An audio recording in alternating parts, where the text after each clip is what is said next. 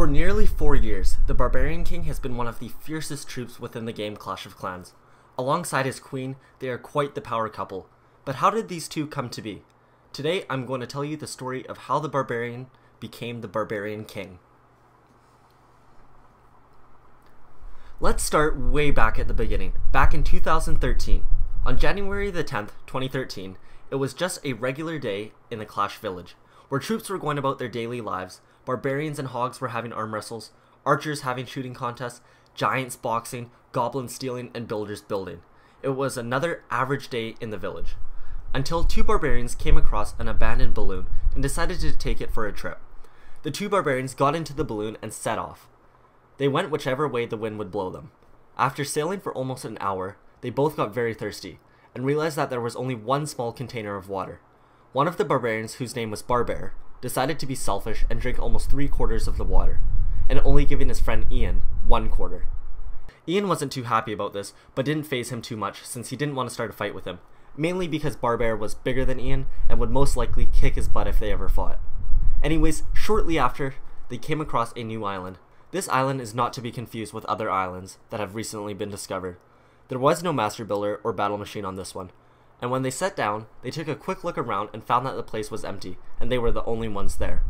Then after a bit more exploring, at the center of the island, they found something brand new that they had never seen before. They found a small waterfall and a small lake filled with a black liquid. Ian, who was dying of thirst since Barbar didn't share much with him, didn't care that it was black and just dove in and took a big gulp. After satisfying his thirst, he got out to rejoin his friend. Barbar also tried a small sip of the black liquid, but not too much since he was still a bit full from the water that he drank earlier. Ian thought it would be a good idea to refill their small container with some of the mysterious black liquid, just in case they got thirsty again. They didn't have too much time to examine the black liquid or any more of the island because as Ian was getting out of the small lake, some storm clouds began to form above them. So they rushed back to their balloon and set flight back home. As they started flying off, the storm began to get worse. Wind started blowing them back and forth, rain was pouring down, and lightning was striking all around them. The storm was like nothing they'd ever seen before. The barbarians thought to themselves that the wizards must have finally finished upgrading that lightning spell. But then all of a sudden, a bolt of lightning came and struck the balloon, sending electricity through both of the barbarians' bodies. The jolt of electricity ended up sending Barbar overboard, and he fell into the ocean, badly injuring himself. Unsure of whether or not he would be able to swim to shore, and then the electricity ended up knocking Ian unconscious and he fell asleep. Let this be another night to tie around my bed at night. I know I've lost the fight to erase your face, my mind. Awake, I lie here staring up beyond the sky.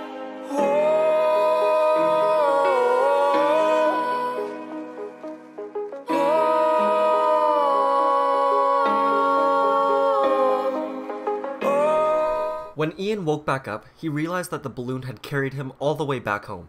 He had to go tell everyone what happened. He grabbed his sword and the container of black liquid and ran off towards the town hall. As he ran through the village, he got weird looks from everyone, but he ignored them. When he made it to the town hall, he began telling his story, but got cut off halfway through when the wizard asked him, Who exactly are you? Ian, who was extremely confused, told them, It's me, Ian.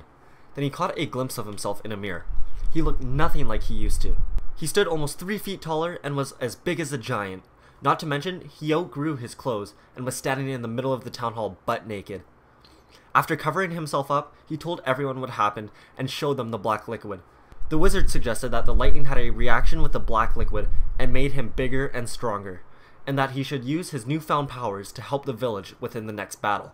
The next day, they went into battle. It was an all-out attack using tons of each troop. All around him, barbarians were getting smashed left and right, but when he started being targeted, he didn't die. He was able to soak way more damage than any other barbarian. Then when the battle had ended, when all the troops turned back into Elixir, he just stood there, waiting for himself to turn into Elixir too. But he never did. So he decided to head back to the village. The wizard was shocked to see him again and figured that along with super strength and health, he was also immortal now. So as the days went on, he would go and fight more battles, and come back each and every time. He had won their village many battles, and to thank him for his contribution, they built him an altar. where he could regain his strength by sleeping there.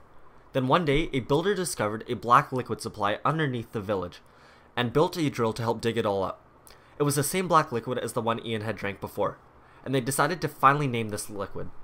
They decided to call it Dark Elixir. To thank Ian some more, they gave him some Dark Elixir, and Ian drank it all and then fell into a really deep slumber.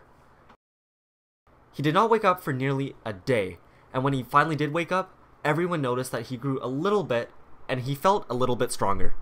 The villagers thought that if they kept feeding him this, then he could keep growing and become unstoppable. So they started farming Dark Elixir and stealing it from other villages. And after feeding him the Dark Elixir three more times, he developed a new superpower. When in battle, he could burst out into a rage and summon some mini Ians to fight alongside him. Ian was so powerful and so strong that every base he attacked, he was victorious. The village decided to crown him king. After all he did for the village, they gave him his crown. And to this day, he continues to fight alongside the villagers and defend them from other invasions. He was the village's only savior and their only hero. At least he was, until she came along. But that's a story for another time. Thank you all so much for watching my story on the Barbarian King. Make sure you smash that like button to save Barbar so that we can find out what happens to him. And also comment down below what story you would like to have told next. Anyways, have a great day and I will see you guys in the next video. Peace.